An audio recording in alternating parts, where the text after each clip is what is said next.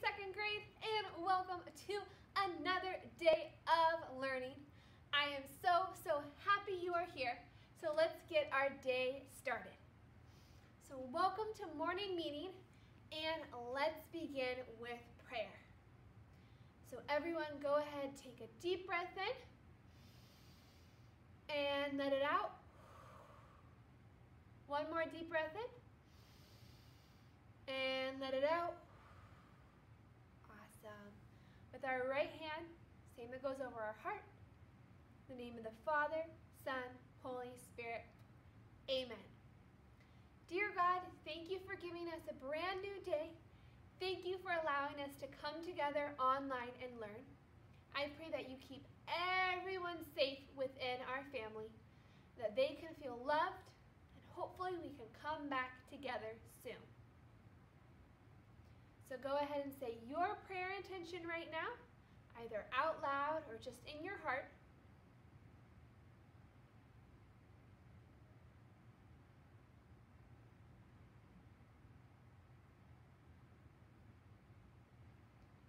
So for all these prayers that we said out loud and the ones we hold in our hearts, we pray to the Lord. Lord, hear our prayers. Okay, let's end our prayer again with our right hand. The name of the Father, Son, Holy Spirit. Amen. Okay, Super Scholars, now it's time for our morning check-in. Let's ask ourselves, how are we feeling this morning? So I'm going to use a nice little book to write on mine. But we're first going to start with that orange box, the orange box. How are you feeling today on a scale from 5 to 1? How are you feeling? From five to one. Let me know. Let's see.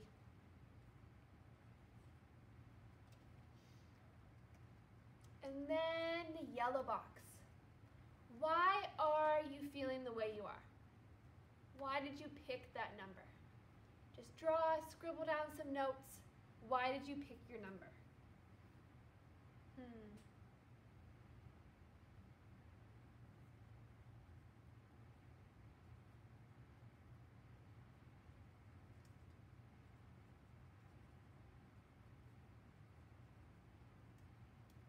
And then green, what are you grateful for? What is bringing you joy this morning? What are you saying thank you for?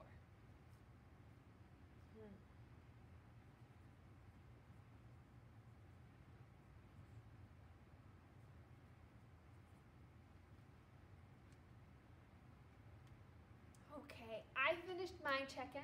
If you need a couple more minutes, just pause it. It's totally okay. So I'm going to share mine with all of you. I am feeling a five today. And what's on my mind? That's because I got a good night's sleep, which always is a key to a five. And I'm always looking forward to reading groups. I got to see the cheetahs yesterday. Today I get to see the tigers. And I'm really excited that we have started reading groups. And then lastly, what I'm thankful for I'm always thankful for my family and food. I love having food to make and that I can bring with me to school. So that is my morning check-in. If you would like to share your check-in with me, I would love to see it. Instead of posting your thumbs up picture today on Dojo, take a picture of your morning check-in and let me know how you're doing today. I would love to see. Awesome. Okay, Super Scholars. We prayed and we checked in with how we're doing this morning. So now we're going to remind ourselves of our trait of the month, which is mindset. So let's go take a look.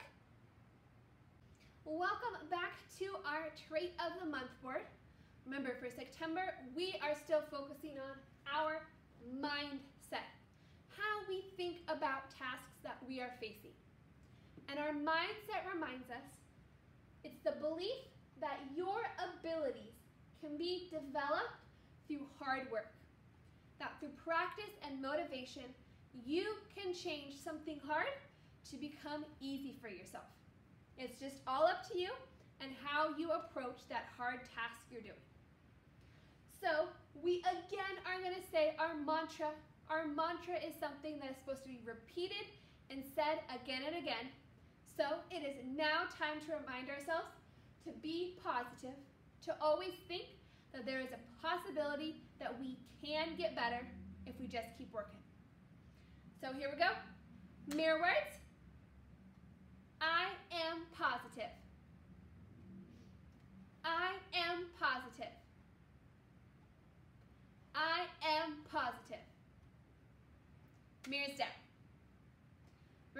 Repeat that every day for the rest of September when we come to our Trait of the Month board to remind ourselves to always, always use our mindset and the power of yet. Next, we've got a new quote of the week. Remember, a quote is something that a person has said that's usually used for inspiration and to help people. So our quote this week that goes with using our super awesome mindset is, it's kind of fun to do the impossible. It's kind of fun to do the impossible. So what could that possibly mean? That it's fun to do the impossible. If something's impossible, it means you think it might have never been done before. It might not happen. But if we use our mindset, we can flip our idea of what we think is impossible and see it as a fun challenge. That it's something we can overcome, that we can beat.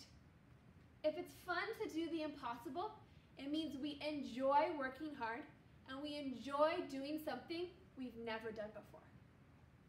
That's why I think it's fun to do the impossible.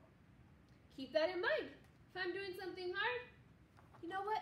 It's kind of fun because it's never been done before and I will get better once I do it.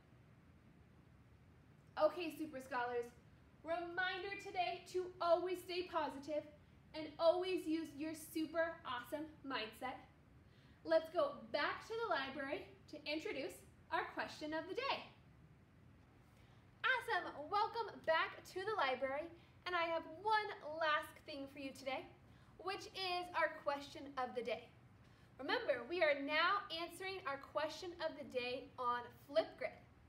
You have all the passwords to log on to Flipgrid. You guys did an amazing job last week on your first one. So this is going to be another opportunity where you can go on Flipgrid to answer the question of the day.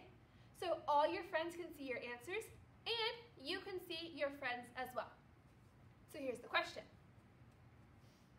If you could eat one food for the rest of your life, what would it be and why? So think about it. If you could only eat one food for the rest of your life, what would it be and why? For breakfast, lunch, dinner, snack. The only food you could eat. What would it be and why? If I could eat only one food for the rest of my life, it would be mac and cheese because there's so many different kinds of cheeses and pastas you could make it with. You can also add in so many toppings as well. There's endless possibilities with mac and cheese, so that is the food I would choose. So go right now on to Flipgrid and answer your question of the day there. Then once you're done, either take that thumbs up picture or take a picture of your morning check-in mat to let me see. I can't wait to see everyone's questions of the